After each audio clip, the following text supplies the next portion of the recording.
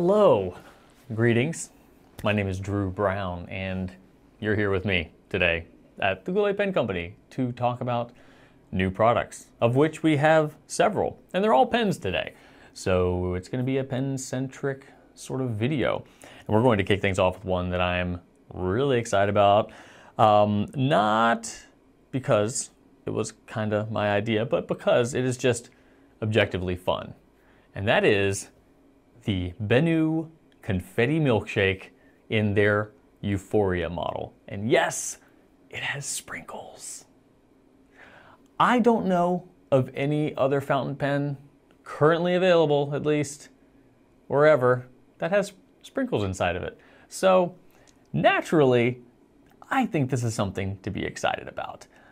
It is, like I said, their Euphoria model, which is always uh, draws inspiration from things that bring you joy, simple pleasures in life. That's why all the titles in the Euphoria line, regardless of whether or not um, they're sold here or anywhere else, always have that sort of um, theme to them.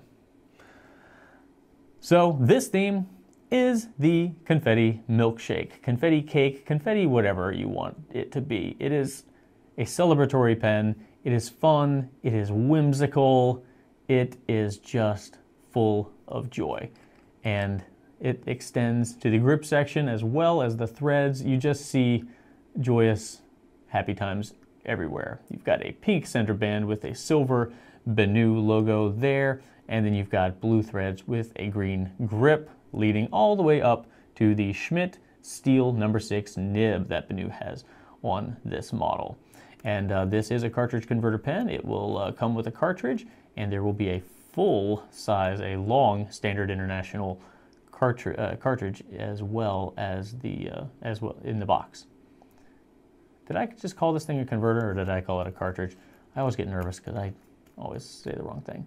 Anyway, it does post. It's a pretty lightweight pen overall. Um, well, it's a pretty long pen when posted. I don't know if that's necessary. This is just long enough, but it's a pretty lightweight pen. So um, even though it, uh, I guess, is a little larger, um, definitely not a heavyweight by any means. A lot of fun with this pen. It is uh, going to be sold for $150 and it is available only at the Goulet Pen Company as one of our exclusive pens within our refreshment collection, which includes heavy hitters like the iced caramel latte. So check that one out too if you like this and are just a fan of writing with delicious beverages. so we can move on from that. Um, next up is also a pen that has a lot of uh, interesting things going on with the material. Uh, that is going to be the Edison Collier in Garolite. So this is a first for the Edison Pen Company. Edison, uh, having long been known for working with beautiful acrylics, this time they're working with a material known as Garolite. And if you've ever seen a micarta or G10, this isn't unlike that material. Officially, uh, Garolite is a glass reinforced thermoset composite aka fiberglass laminate. Um, it's you know bonded with epoxy, so it's super stable, very durable, and uh, you know just uh, it's not going to get beat up too easily. Very very strong. Um, the grip section is not Garolite. You'll see that that is just a um, kind of a caramel butterscotch resin um, with a JoWo steel nib up there with the Edison logo laser etched on it. Um, cartridge converter pen and um, it will come equipped with the converter as well there. So really well made. Edison machines their stuff really well. Very, very high standards, you know, with the threads and their machining. And you'll see that uh, it has an engraving there, Edison Penco, LE Garolite Collier. The Collier is a larger pen, so it lends itself really well to a big, unique material like this. However, as you saw in the engraving, it is limited, so there won't be an infinite amount of these the uh, caramel trim ring uh, slash grip section is visible while the pen is closed. And you might see that there's a little bit of a difference between the darkness of the cap here and the barrel. These pens will vary um, in just kind of uh, color, temperature, so um, you know you get what you get. But they're all really really cool looking. Um, it is a it is while it is impregnated with epoxy, um, you know it doesn't have a texture or anything, but it is a fiber at its base. So uh, you might be wondering, will it discolor if I get my ink all over it? it's possible and, and likely, especially if you get a ton of ink on it. However, um, uh, soaking it in water and then just you know going to town on it with a toothbrush from the Edison Pen Company's standpoint anyway, um, I've yet to try it. They say that works just fine and everything comes right off with no damage to the pen itself. So this is available now, as was the um, Benu caramel. It's not caramel. This is caramel. Confetti milkshake. Uh, all available now. Um, this one is at the $200 price point, $199 uh, officially. And um, again, not going to be around forever. Uh, it's uh, first for the Edison Pen Company, so I don't know if they're going to continue to do anything like this. So it's a chance to be a part of uh, something new. So I'm excited about this. Maybe you are too. Regardless, we are going to move on to our third pen. That is going to be the Maiora Ogiva. So we've got three colors here. Um, we are going to be calling this one blue, and then brown, and then orange brown. So brown and orange brown, I think. Yes, brown and orange brown. Um, I'm going to bring them here under my phone and uh, let you see. The brown uh, isn't just brown. It's got a, kind of a whole lot going on with it. Um, it's got it's got a lot of greens actually. Greens, a little bit of red, a little bit of white, and all three have uh, gold dust in them. So they're calling this collection the Golden Age. Um, and all three have a sterling silver band at the base of the cap, but all of them have JoWo number six steel nibs and uh, you will see the Maiora logo there. Maiora is um, one of the companies of Nino Marino, the founder and current president of the Delta Pen Company, one of the founders, I mean. Um, and Nino has Nettuno, Maiora, and Delta currently. So um, if you see some similarities, that's why.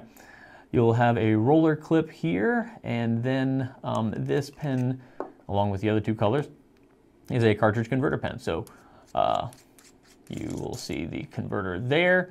And if you ever see a converter with one of these um, metal ends, it usually means that it's meant to be seen, which means you should probably look and check to see if there is a blind cap. And yes, there is. So if you wanted to operate the converter without removing the entire barrel, you could do that. And uh, it looks pretty. It's not really necessary, but it's an interesting feature that you don't see very often. Taking another look at some of the other colors. This one is the orange. More orange than the other one for sure, than the brown orange. No, sorry, this is brown orange. I'm getting confused. Orange, orange brown, and just brown. So the orange brown slash brown orange is here. You see the golden age engraving there. Um, they're also referring to this one as earth. This one, elemental of fire there. And then we've got this one, water, wind? What are we thinking? This one is wind. Come on, zoom in. There we go, wind, golden age wind. Uh, officially, they're not calling the pens that. I don't know why, but um, anyway, it's blue. And it's brown and orange brown. So these are going to be $316. They are available now. So check them out. There will be more information on our website. Same with all of the pens I'll be mentioning here. So go forth and learn about all of the measurements and weights, all that good stuff. Let's gently move these to the side because I want to bring in this box for our final pen of this video. Uh, you might guess it is going to be a Japanese pen. So Maki-e in this case by Namiki. This is a Yukari. And this particular pen is their bush clover, also known as Hagi. And there we have it. Hagi, 2023 limited edition. These will be numbered. And up, oh, sneak peek, that's what it looks like. I'm going to take this out. It comes with a bottle of ink in a very nice box. And there's the beautiful pen itself. So here we have the bush clover. The bush clover is also known as the hagi in Japan. It's a very, very lovely uh, kind of viney plant with uh, pink blooms. And uh, this pen specifically is going for $1,800. It is the Yukari model, which is one of the smaller models, you know, going, uh, just comparing their um, Maki-e pens in the Namiki line. You've got the Yukari Royale, which is slightly larger, and the Emperor, which is far larger. So this one's going to have their number 10 size nib, and this is a pilot um, numbering system. Uh, this is a number 10 Namiki nib. You've got your bicolor nib, so you've got rhodium and gold happening here with Mount Fuji right there at the top. And um, 69 of these were made for the US, uh, more across the sea. And um, you'll find that the number is engraved. I'm not letting you roll away. Stop it. All right, whatever. The number is engraved right up at the top of the clip there. So you can see this is number 209. Um, the caps also, something that you might not know about these Namikis. Sorry if the lighting's not great here. Um, the inner lining of the cap here, uh, you'll see a little bit of felt there so that when you post these pens, you don't need to worry at all about damaging any of the Maki-e or Urushi. So that's just a nice, careful feature there. Um, you can definitely feel it. It might not be super obvious on camera, but it's definitely there. And apart from the nib, oh, it's a cartridge converter pen. It'll come with a Con 70. Boom. And of course, it'll take Pilot's proprietary cartridges as well. And there we have the art, signed by the team of artists that create these. And while this is certainly lovely, the images that I'm probably already showing you are going to be even more lovely.